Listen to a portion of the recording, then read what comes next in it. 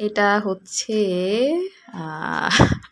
এটাকে অনেকে বলে পাগলা পানি, অনেকে বলে হচ্ছে পোটলা। তো আমরা ছোটোবেলায় এটাকে পোটলাই বলতাম, যেহেতু একটা পোটলার মতো বানিয়ে দেওয়া হয়। এটা অনেক দিন পরে মা আমার জন্য নিয়ে এসেছে। তো এটা আমি এখন খাব।